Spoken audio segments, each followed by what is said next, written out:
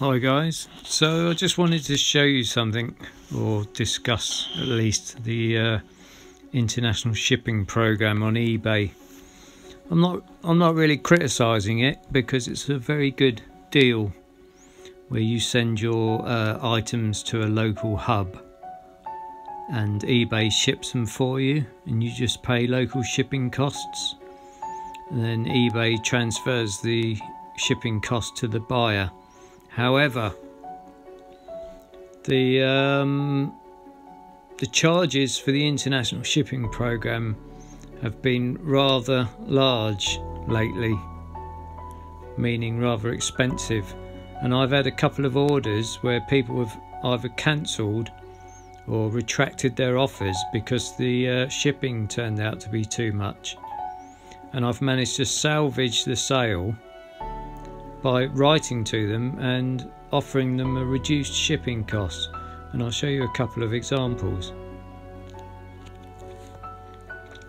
So here's my uh, sold items. So that that's one example, but I'll show you an earlier one. That's a nice uh, candlestick by Noritake, Japanese antique. Some of the things I've sold this month. Uh, Malayan one dollar. A vintage brass boot matchstick holder. Nice genuine leather handbag made in Colombia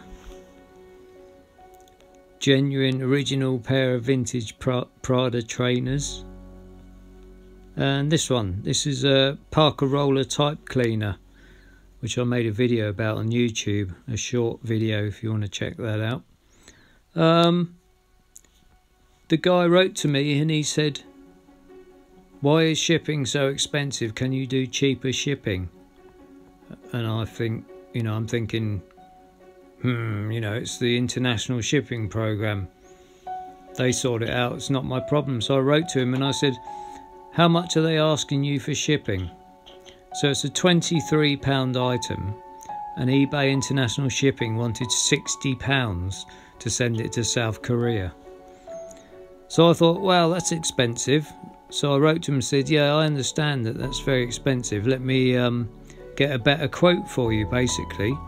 So all I did was went to the Royal Mail website, plugged in his address and the, the type of postage I wanted and the weight of the parcel, and they sent sent me a quote for eighteen pounds. So I wrote back to him and said, "How about if I send it to you for twenty pounds?" How does that sound? And he was very happy about it. He said, Yes, that's much better, thank you. Send me the item. So I sent him the item for £18 and he was very happy, basically. But anyway, today I've been on the been on the phone all day to eBay trying to sort this one out.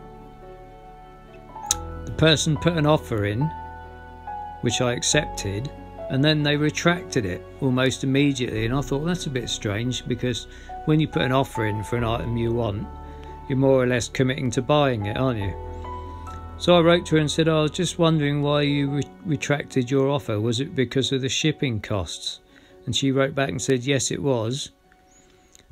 So I said, How about if I send it to you with shipping, like for the price you offered me, and I'll send it with free shipping? So basically, she paid the asking price plus £24 shipping. And she said, Yeah, that's a good deal. I'll take that. So what happened was when she put the offer in, she got a quote for shipping from eBay for the international shipping program that was just so expensive she decided not to buy it. So basically, I'm losing sales through the international shipping program because people are not willing to pay that much postage. We're, you're looking at the difference between £60 with the international shipping program and twenty pounds if you send it with Royal Mail. So the the, the shipping program's good because um, it's hassle free and eBay covers it. So if if there's any loss or damages, they refund you in full and they insure it, cover the insurance and all that.